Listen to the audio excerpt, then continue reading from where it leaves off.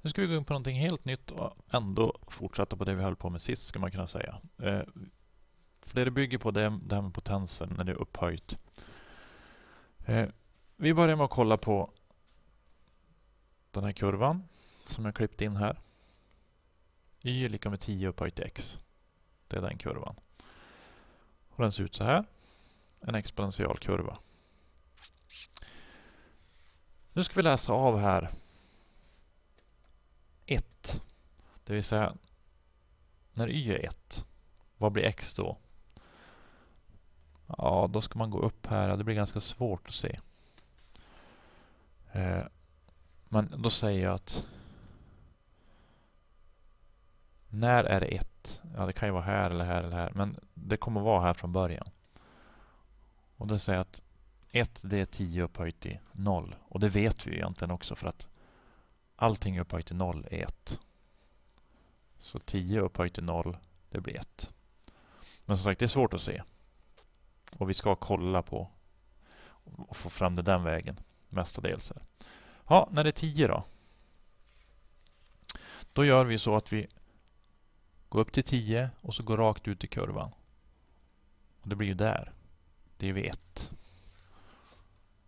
Så 10 det är ju 10 på höjd 1. Ja, det vet vi också. För allting uppe på höjd 1 det är ju sig själv om man så säger. Sen ska vi ta 100. Vi kollar på höjden 100. Vi går rakt ut. Och då ser vi att x är 2. Så 100 det är 10 upphöjt till 2. Ja, det vet vi också. 10 gånger 10 det är 100. Så nu ska vi fortsätta med några som är lite mer ojämna, eller kommer att bli mer ojämna i alla fall. 30. Vi ska gå upp till 30. Vi går rakt ut. Ja, vad får vi då? Ja, vi får nästan 1,5. Vi kan avrunda det till 1,5. Och så ska vi kolla på 40. Vi går rakt ut från 40. Upp till 40 och rakt ut. Ja, vad kan det bli då? 1,6 kanske. Fast nu skriver jag ju fel. Jag ska ju inte skriva 1,5. Jag ska ju skriva 10 upphöjt i 1,5.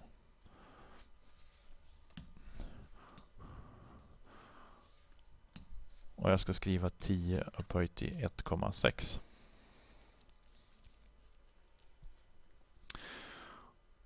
Och nu är det så att den här lilla siffran här uppe, det kallas för 10-logaritmen av någonting. Eh, så 0 det är 10-logaritmen av 1.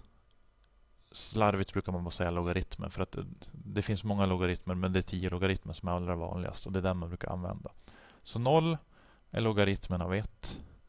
1 är logaritmen av 10. 2 är logaritmen av 100. 1,5 är logaritmen av 30 och 1,6 är logaritmen av 40. Så om vi då skulle sammanfatta sambandet här, det är att om y är lika med 10 upphöjt till x så betyder det att x är logaritmen av y. Det vill säga den lilla siffran den är logaritmen av den stora siffran som står ensam på andra sidan.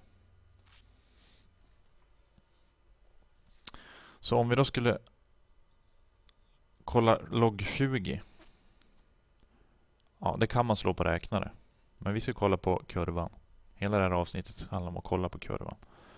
Lag 20. Och 20 det är ju y. Det ser vi här. Så om vi vet y, 20, så ska vi ta reda på vad x är. Ja, men då kollar vi på 20. 20 och så går vi rakt ut. Och så kollar vi på att det är 1,3 kanske. Vi kollar på 60. Upp till 60 och rakt ut. 1,8.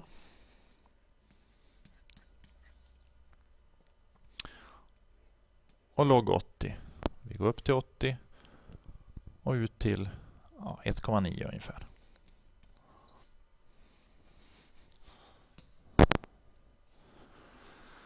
Eh, och så ska vi räkna två exempel. Vi ska lösa ekvationerna 10 upphöjt till x är lika med 40 och 10 på x är lika med 50. Så det vi ska göra då, det här Det där var x och det här var y. y var 40, vi går upp till 40 och vi går rakt ut. Ja, det här har vi kollat redan. Det gör ungefär... Vi skriver upp det först. Om vi har det här så betyder det att x är ungefär 1,6.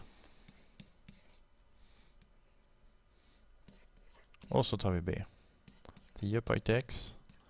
Det var 50.